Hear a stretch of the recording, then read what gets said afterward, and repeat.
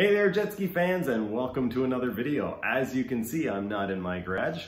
This is the home of the Jet Ski Brothers. I made it to Washington, everything went well, and so you guys will be seeing some footage of that in some upcoming videos, but the video you are about to watch is from actually uh, July 17th, I believe. I was out at Pine Coulee, tried to do some tuning on the 650 Xi and my X2, and it didn't go exactly as the plan because it was terribly busy. So I ended up going to Twin Valley Reservoir and things didn't go exactly as I wanted there. I ended up going out on the water and doing some testing. It was absolutely beautiful. The water was perfect. So uh, all in all, it was an amazing day. The last time I was at Twin Valley, there was a lot of seaweed that uh, caused some problems. I was out on the SXR 800 that I had built for somebody else and I was also testing my carbon fiber ride plate, so some of you may remember that. Anyway, let's get into the video. I don't know where people tune their skis normally. I guess they're not nearly as obnoxious as this thing is. But um, got this backed into the water and started to do a run. There's some people over there fishing and talking and sunbathing.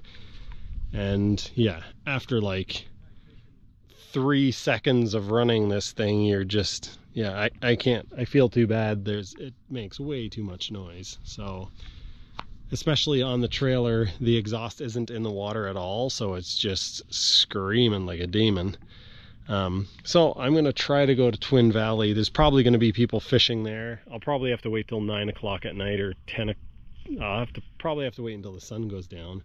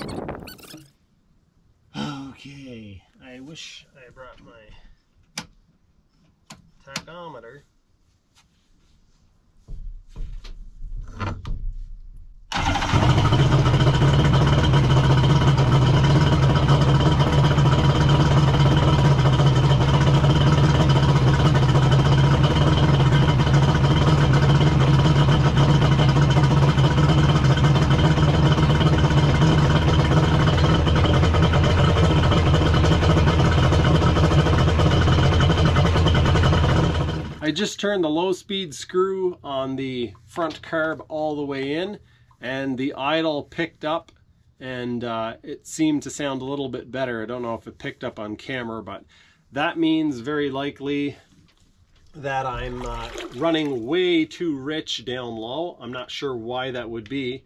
These are factory 1100 uh, jets, but Anyway, I'm going to lean it out on all of the low speeds the same, and then we'll uh, move on to the high speed. Oh yes, one thing that I wanted to check while I was here was the flow of water in the exhaust, because I'm ne never able to monitor that when I'm riding. Hopefully you guys can see me over here. Yeah, I've got the low speed screws all turned out, half a turn. I'm gonna start it up again and see if it sounds a little bit more reasonable down there.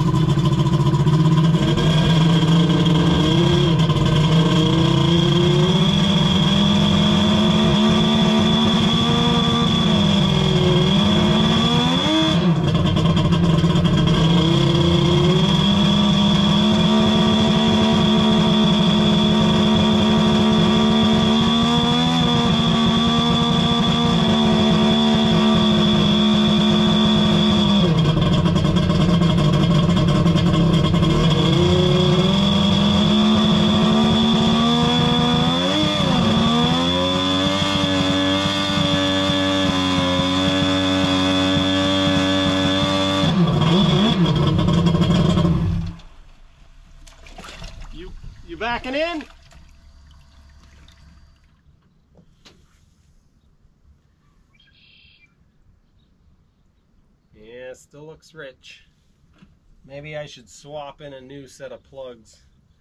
Actually, I'm gonna I'm gonna do that. I've got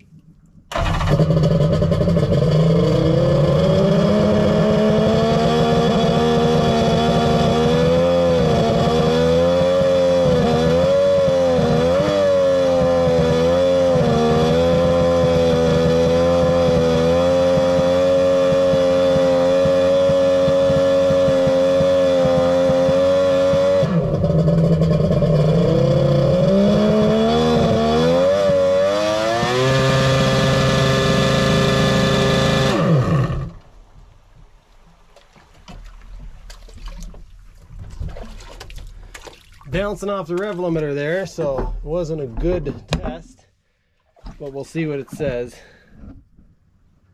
I think I'm just going to ride here. I'm just gonna throw the seat and the hood on.